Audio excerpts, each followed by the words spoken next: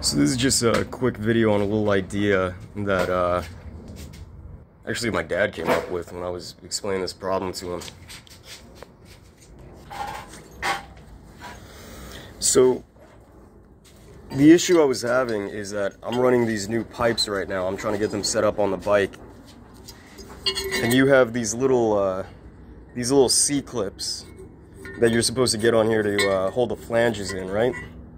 Now on most exhausts, um, or at least the stock one that was on here originally, this, uh, the end of the pipe that connects to the heads isn't usually like this thick. It's usually like a small ring. You just have to pull this clip over, right? But for this instance, you have this big roll of metal on top of here. And my hands are pretty fucked up to begin with, so I'm having a lot of trouble like pulling these things over, right?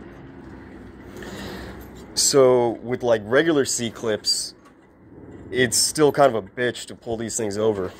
So this is what uh, this is what my dad came up with, and it's actually uh, like I'm impressed because it was a really good idea. They went on really easy, right? So basically, you get these uh, little C uh, C ring clamps, and oh, let me see if I can focus them usually they have these little uh, tips at the end that you kind of like put into holes that are on C, uh, C rings, but these don't have them. So what we did is we took off those little tips and let me see if I can focus this.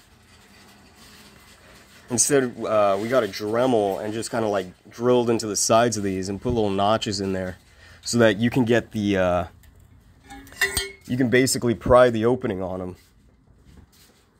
And it works out really well. They come out, uh, they slip on really easy.